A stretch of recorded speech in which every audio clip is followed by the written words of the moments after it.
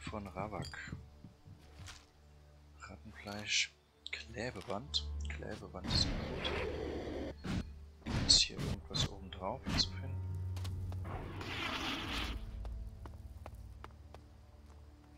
Ja, ist ein Tresor, der zu hacken ist. Ähm, aber nö. Tresor hat man ja gesagt. Lassen wir außen vor. Macht keinen Sinn, da jetzt drin großartig Rätsel zu raten.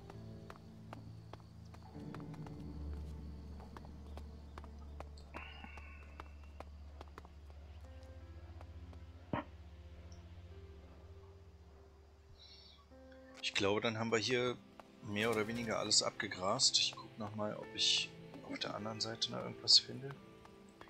Aber das sah mir nicht danach aus. Oh doch, geht noch ziemlich weit lang. Sehen wir hier noch irgendwas?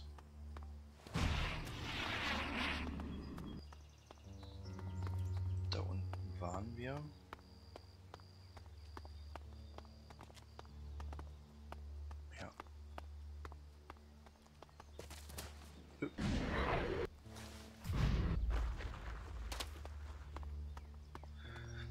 Relativ tiefenentspannt.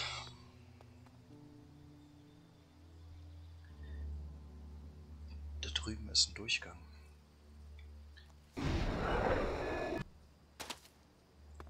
Oh, und hier liegen auch noch ein paar Sachen rum. Trank eines Kriegers. Na. Ah ja, das ist wieder genau das, was ich meine. Es ist einfach zu düster, man sieht nicht, wo man hinläuft.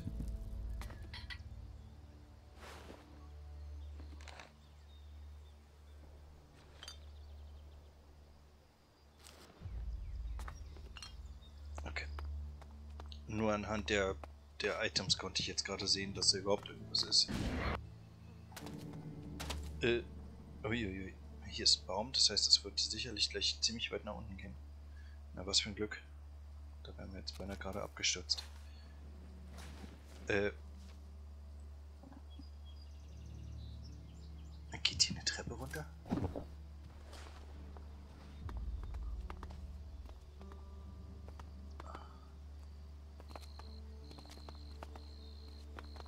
Das sieht mir nach aus, als ob hier eine Treppe runter geht.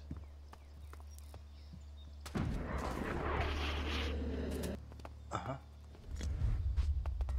Geld, Holoprojektor, ein Ritualmesser. Und da geht's raus. Es geht los. Wow, wow, wow, wow. Junge. Bleib doch mal ruhig. Atme doch mal durch die Hose. Was ist denn hier los? Eins, zwei, drei Verseuchte. Äh, nee. Das, äh, ist jetzt in jedem Fall nicht das, was ich wollte.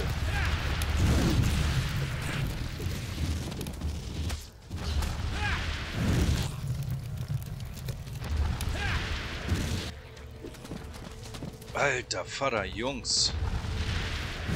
Jetzt macht mich mal hier nicht schwach.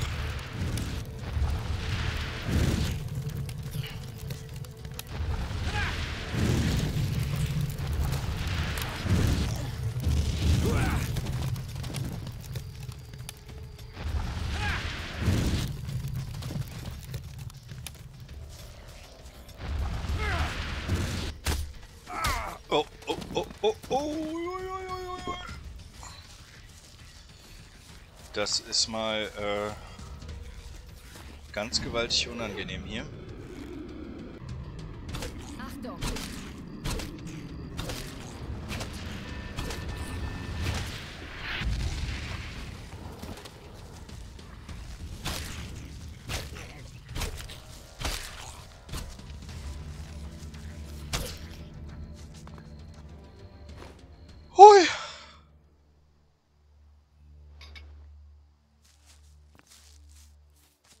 Ja. Das war jetzt mal, äh, das war jetzt mal heftig. Ähm, ich habe ehrlich gesagt keinen blassen Schimmer, wo die Jungs herkamen. ähm, müssen ja irgendwo da rumgestanden haben. Anders geht's ja nicht. Aber das war jetzt gerade mal wirklich eine Hausnummer für sich.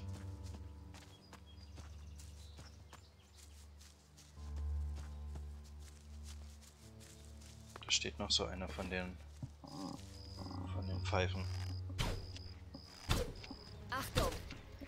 Also wenn die planbar sind und man die äh, quasi von, von der Ferne erstmal ein bisschen schwächt, alles easy. ja, die Axt steht erstmal quasi ihren Mann. Ähm, wenn die aus der Ferne abgenommen werden können, alles entspannt. Dann ist das relativ relativ entspannt. Aber vier von den Jungs auf einen Schlag, mhm. da kommt dann echt Freude auf, muss ich sagen.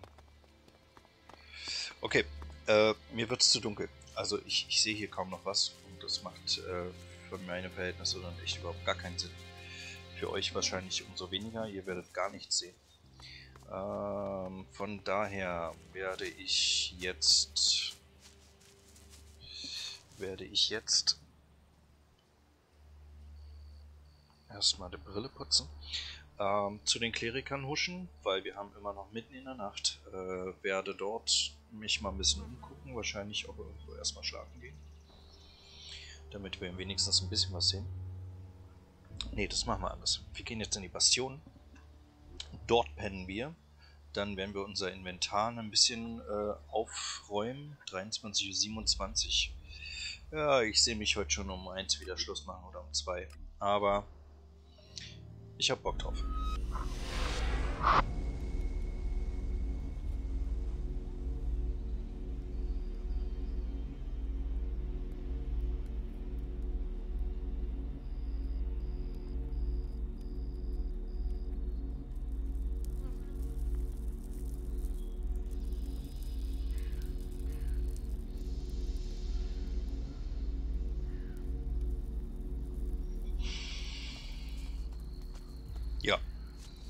Ich habe Bock drauf. Wir haben in jedem Fall ein bisschen Treibstoff eingesammelt. Das heißt, wir werden unser Jetpack jetzt erstmal noch ein bisschen...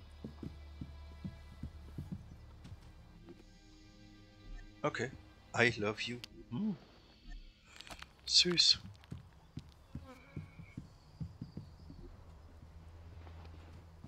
Ja, wir haben wieder dreimal Jetpack-Treibstoff eingesammelt. Das ist gut. Zack.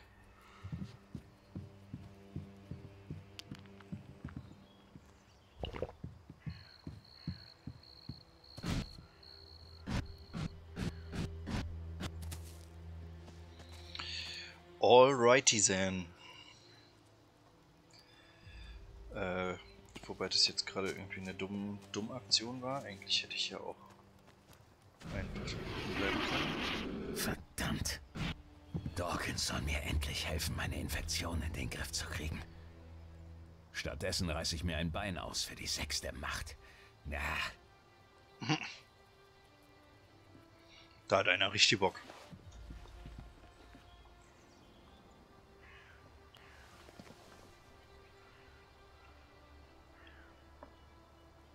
Okay. Dann gucken wir doch mal, was wir alles Schönes ins Inventar... Oh! Oh! Oh!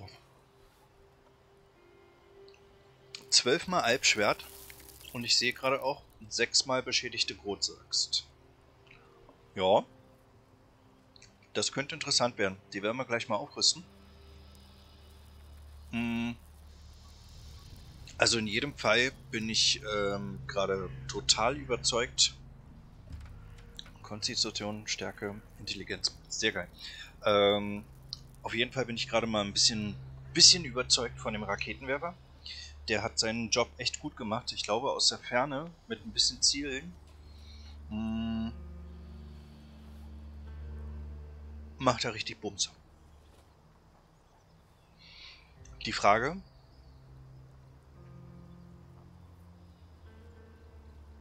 die Raketen brauchen natürlich immer eine Zeit lang, ehe sie im Ziel ankommen. Ähm, die Frage, die sich mir stellt, äh, Granatenwerfer haben, glaube ich, eine relativ schnelle Schusszulieferung, Schusszustellung. Hm, Granaten fliegen schneller.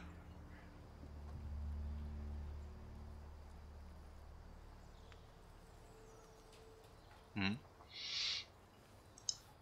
Eventuell, wenn wir irgendwann mal einen Granatenwerfer finden, sollten wir vielleicht überlegen, ob wir mit einem Granatenwerfer äh, anstatt, anstelle eines Raketenwerfers arbeiten. Das könnte interessant werden.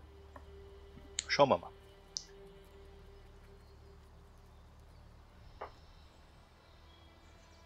Okay, Konstitution, Stärke, Intelligenz. Wenn das alles immer so einfach wäre in unserer realen Welt, in unserer realen Welt, dann... Ah, mein Kopf. Hoppala. Diese Scheißinfektion. Wenn ich das nicht in den Griff kriege, passieren noch irgendwelche Dinge mit mir.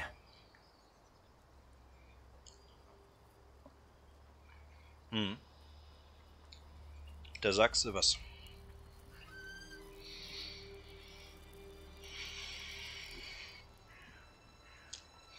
Okay, wir haben in jedem Fall eine ganze Menge Stuff eingesammelt. Jetzt gerade.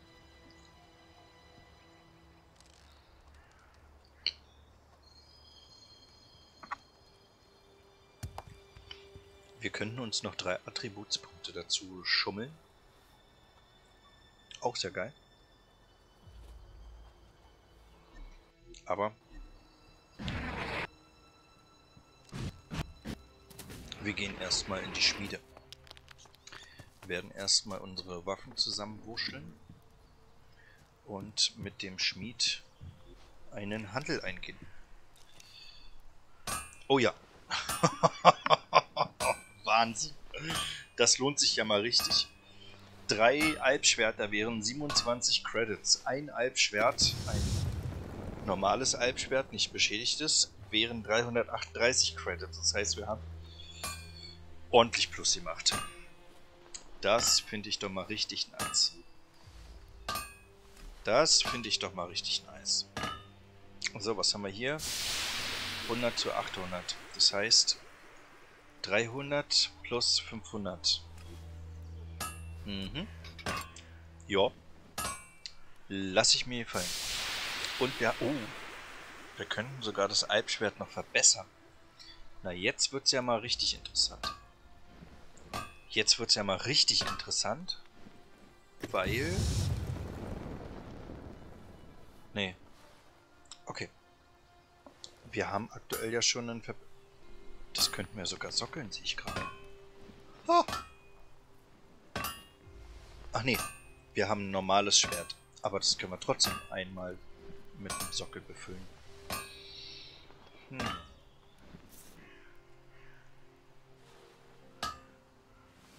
Würde dann nur vier Schernen mehr machen. Das ist jetzt das Elex nicht wert und auch den Schrott nicht, den wir da reinsetzen würden. Aber interessant. Okay. Ähm, dann verkaufen wir den ganzen Bums. Das wird in jedem Fall jetzt ordentlich in der Kasse klingeln.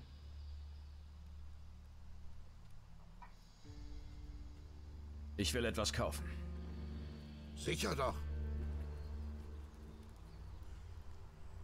Okay. Äh, ach nee, wir sind bei Kaufen. Wir wollen ja verkaufen. Also gut, vier Alpschwerter bringen 1352. Schön. Ähm,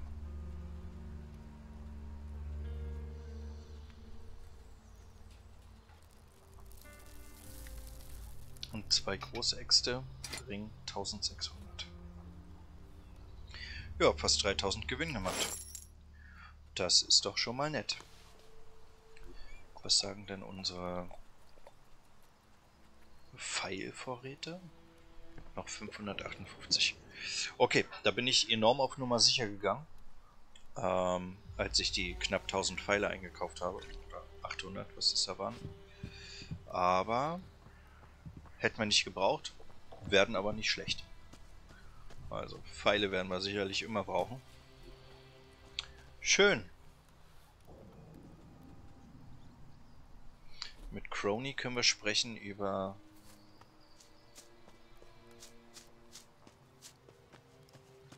Da ist er.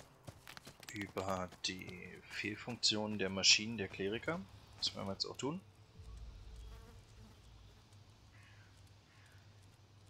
Ich brauche deine Hilfe mit ein paar durchgeknallten Robots. Analyse. Funksprüche maschineller Einheiten der Kleriker zeigen starke Anomalien auf. Ja, richtig. Du hast die Fehlfunktionen also auch schon analysiert. Was ist da los? Unzureichende Informationen. Benötige Datenaustausch mit Zentralrechner der Kleriker. Du meinst dieses Ding, diesen Bordcomputer der alten Welt. Kalan. Positiv. Eine direkte Verbindung mit Kalan erforderlich.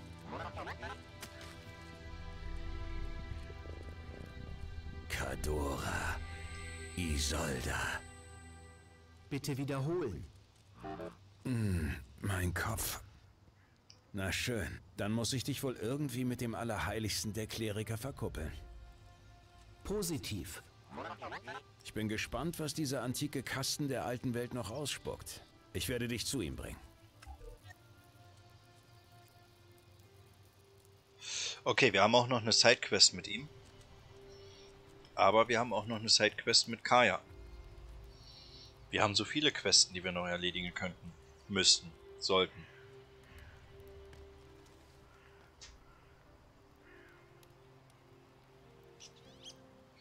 Und eigentlich wollen wir ja heute auch noch nach Morkon. Scheißen Dreck. okay, aber ähm, ja. Ja. Also wir müssen Crony U4. Eine Sache noch. Ja. Momentan machst du mir Angst. Ja, weißt ich weiß, das? Mäuschen. Ist ja gut. Ja, ich weiß, ich sollte dringend etwas gegen meine Aussetzer unternehmen. Ich kümmere mich darum, sobald ich die Zeit dazu finde.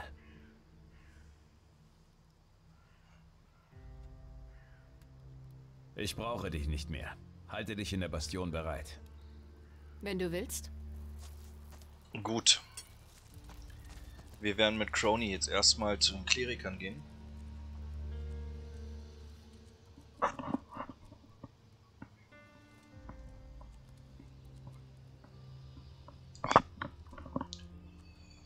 Mitkommen.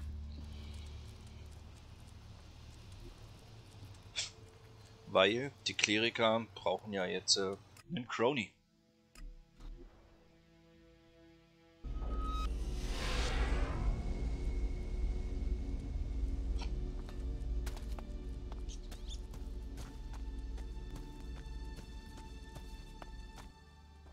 Augenblick. Du bist ein Berserker, richtig? Ich frage Wie nicht, was dich zu uns führt. Die Gründe gehen mich nichts an und wir Kleriker weisen niemanden ab. Dennoch ist es meine Pflicht, jeden Reisenden auf die herrschende Ordnung hinzuweisen. Keine Diebstähle, keine Schlägereien. Verstanden?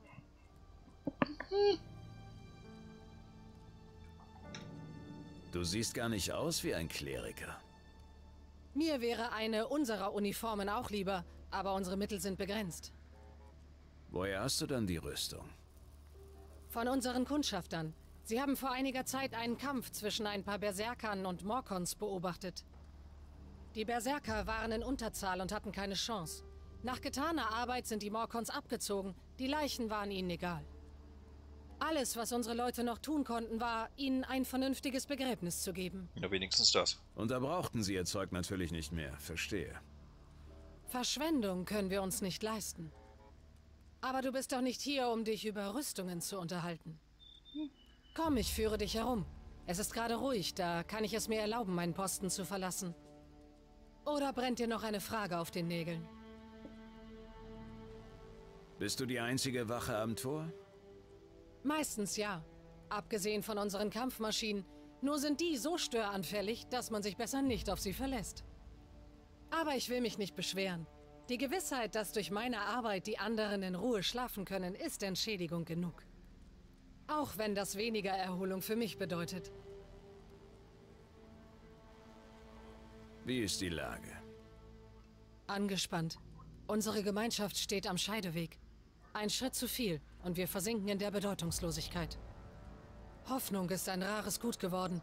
Und nicht alle schaffen es, sich mit den Umständen zu arrangieren.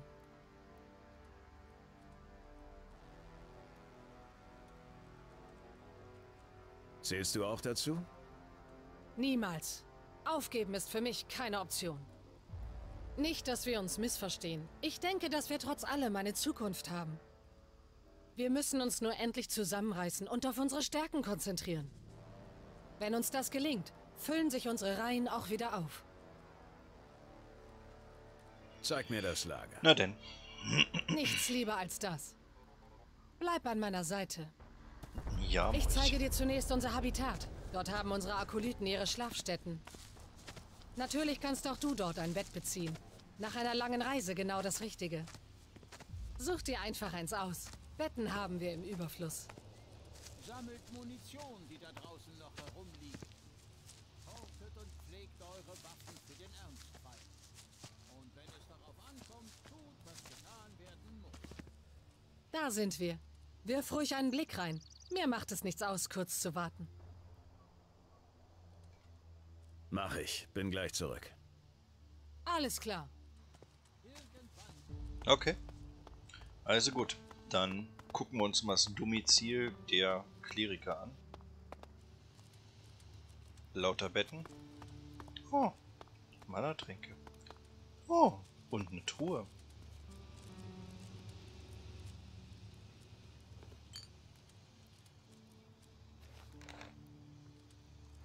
Ja komm, den Teller lassen wir auch mitgehen. Ist doch klar. Leichtes Schlossknacken. Na dann, ab geht's.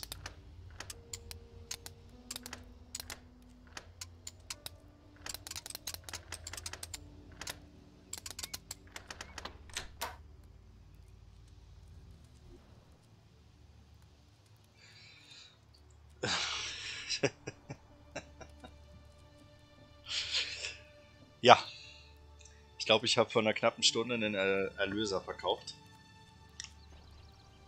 Was soll man dazu noch sagen? Scheiß drauf. Aber wir bräuchten ja so oder so noch einen dritten. Sodass das jetzt nicht ganz so ins Gewicht fällt. Aber ein bisschen nervt es mich gerade schon. Ähm, da ist eine Wache. Okay. Huhuhuhu. Na, das wäre jetzt gerade richtig gut gelaufen hier. So, sieht er uns noch? Nö, Line of Sight ist unterbrochen. Dann, hoppala. Nehmen wir doch hier noch alles auf. Wo ist er jetzt? Ah, hier steht noch ein Tresor. Aber den kriegen wir jetzt definitiv nicht geknackt. Haben wir hier noch irgendwas Interessantes? Jo, ein Elixtrank. 500 Erfahrungspunkte lasse ich mich nicht nicht bei bestrafen.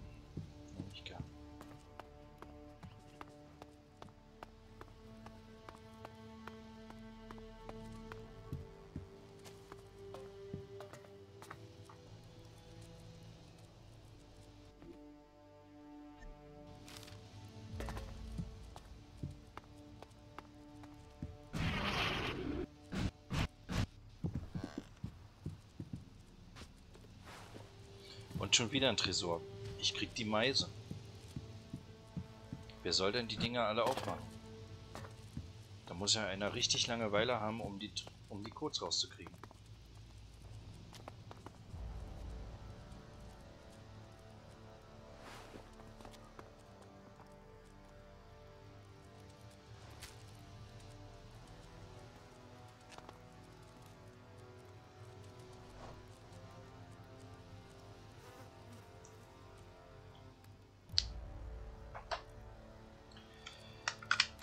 Okay, so viel zu den Schlafgemächern der Kleriker. Ich glaube, da auf der anderen Seite ging es noch einmal runter. Da wollen wir jetzt mal hin. Da liegt in jedem Fall noch ein Teller oder irgendwas. Nehmen wir.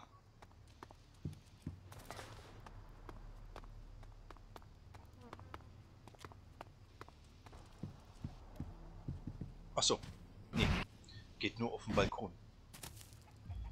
Und hier geht's nochmal rein. Okay.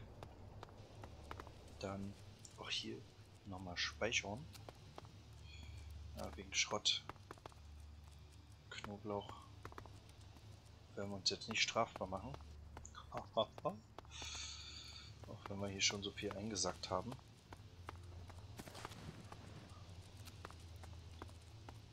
Irgendwo muss man ja auch die Kirche im Dorf lassen, ne?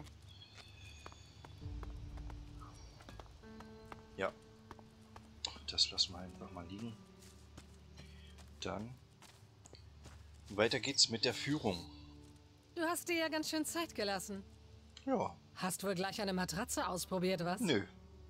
Naja, da du ja jetzt ausgeruht bist, können wir weiter. Können wir. Obwohl, warte mal. Es gibt etwas, das ich dich fragen muss. Na dann. Bist du gläubig? Nö.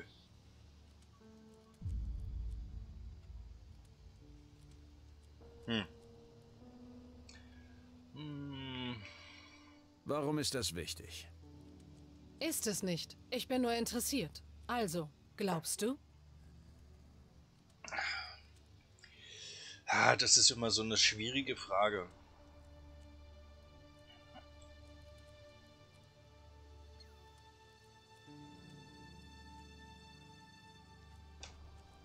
Nein. In Zeiten, in denen die Welt ein weiteres Mal unterzugehen droht, kann ich das nur schwer nachvollziehen. Tja, Aber dann wirst du hier einige Gleichgesinnte finden, auch wenn ich das anders sehe. tja.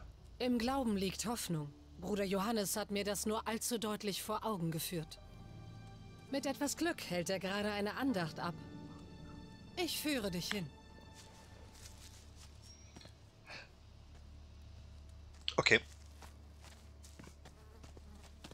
Ist nur logisch. Ich Meine sage, dass ich, ist zwar begrenzt, aber wenn ich kann...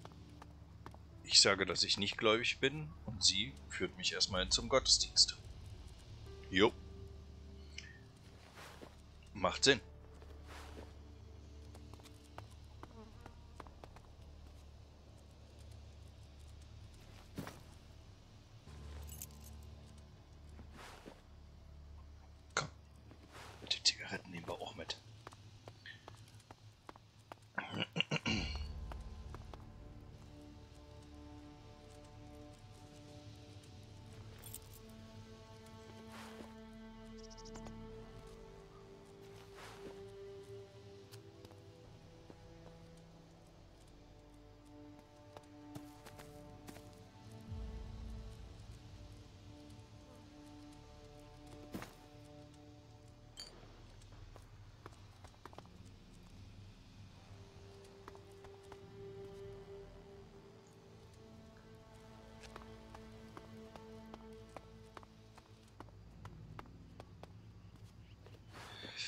Okay, also hier stehen ähm, reichlich Tresore rum.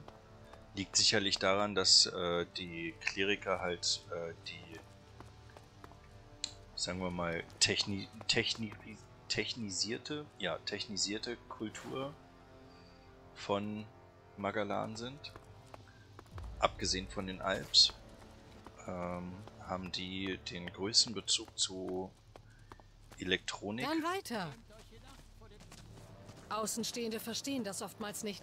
Aber ich garantiere dir, es braucht nur eine Woche auf meinem Posten. Ach, achso, okay, es war ein reisender Handler.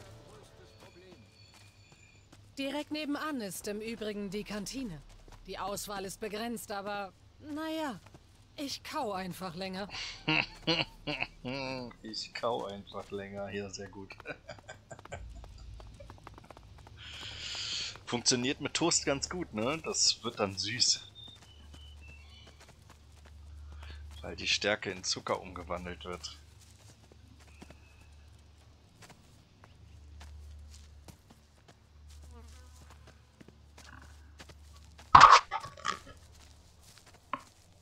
Wir kommen gerade richtig.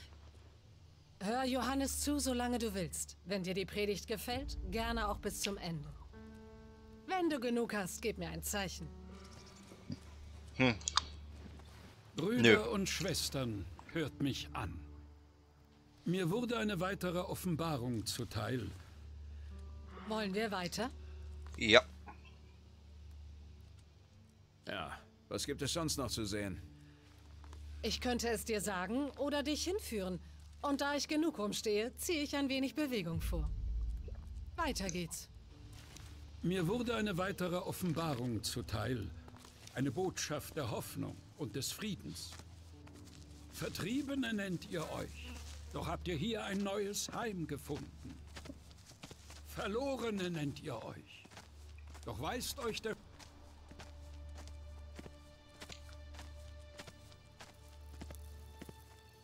Das ist das Kastell der Regenten. Nebendran das Archiv. Während im einen geforscht wird, wird im anderen das erlangte Wissen verwahrt. Beides ziemlich trocken, wenn du mich fragst. Den Besuch sparen wir uns. Wenn ich dich jetzt einen Blick riskieren lasse, setzt du nur Staub an. Komm, wir sind bald durch. Wo kann ich mein Zeug loswerden? Dafür suchst du am besten Vivian in der Händlermesse auf. Du findest sie im südlichen Teil des Lagers. Vom Tor aus links gesehen. Im Großen und Ganzen bist Ah, du dann auch also schon hier. im Bilde. Grundsätzlich gilt, wenn dich ein Gebäude interessiert, geh einfach rein und stell dich vor. Einfach so? Solange du niemandem im Weg stehst, störst du auch nicht. Mhm.